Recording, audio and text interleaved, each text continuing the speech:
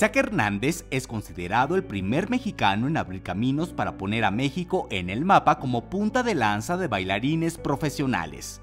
De padres bailarines, Isaac inicia a los 8 años de edad a trabajar en lo que se convertiría, al pasar los años, en una profesión llena de triunfos y reconocimientos, que hoy a sus 28 años disfruta plenamente. Pues bueno, yo llevo toda una vida de trabajo para, para lograr estos, estos resultados y al final de cuentas me siento afortunado de poder vivirlos en, vida. Normalmente eh, es una fortuna poder ver los frutos de tu trabajo mientras sigues en tu profesión y te da una, una cierta responsabilidad eh, para seguir ofreciendo lo mejor de ti y seguir viendo hacia el futuro, a ver de qué manera puedes eh, utilizar esa, esa, carrera, esa experiencia que has hecho para mejorar realidades y eso es algo que, me motiva mucho y me siento eh, particularmente feliz porque eh, al final de cuentas hay muchas personas que terminan carreras extraordinarias y no pueden vivir las experiencias que yo he vivido. Entonces, ahora lo más importante es seguir trabajando como lo he hecho hasta ahora eh, disfrutando de todo lo que viene extra, que al final de cuentas se han cumplido mis sueños, como tú dices, a una temprana edad y me da la oportunidad de ser creativo hacia el futuro.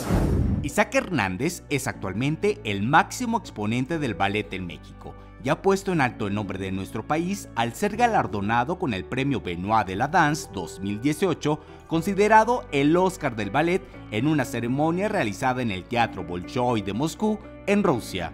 Uh, hello, I was uh, at this, on this stage for the first time uh, in 2005. I never thought I would be back uh, here living these days. So I want to thank everybody that has made this possible. I have to thank English National Ballet, Tamara Rojo, my colleagues for making my career exciting and motivating me every day. And finally, I have to think of my family that is not here with me today, but I'm thinking of them and of my country, which is the first prize, the first la Danza goes to Mexico, so I'm very proud to, to bring it home. Isaac Hernández actualmente es el bailarín principal del Ballet Nacional Inglés. Pero, ¿qué es lo que considera que el ballet le ha aportado a su vida en realidad hay, son muchos los beneficios, no solo del ballet, sino de la cultura y las artes para el ser humano.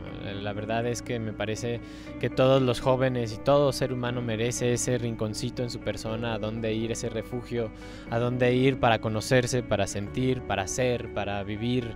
Eh, y, más que nada conocerse. Eso ha sido para mí el ballet. Me ha enseñado eh, quién soy como persona, me ha creado valores, me ha dado disciplina, estructura a mi vida y, me ha dado la posibilidad de, de, hacer algo con mi juventud eh, también. Me, hizo una persona eh, valiente también y, creo que son cualidades necesarias para cualquier profesión. Entonces yo quiero pensar que algún día en México vamos a poder ver las artes y la cultura como un derecho humano.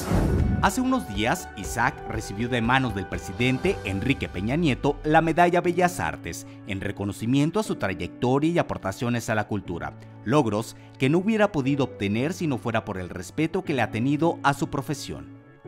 Yo creo que cuando haces las cosas bien, eh, la vida sucede de la manera en la que tenga que suceder de acuerdo a tus decisiones. Pero lo más importante es eso, es eh, tener eh, dignidad en el trabajo.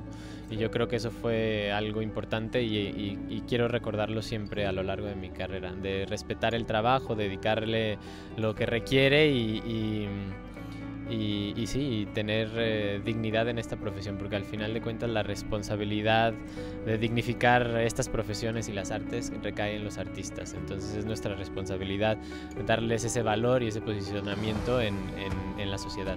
Pues felicidades, mucho éxito y te seguiremos la huella. Perfecto, muchas gracias. La vida se ha encargado de decirle a Isaac que siempre ha hecho lo correcto que ha tomado las mejores decisiones y que el lugar que ha obtenido no es por casualidad. Por imágenes de Alejandra Coutinho, informó para el CEA, Andy Lowe.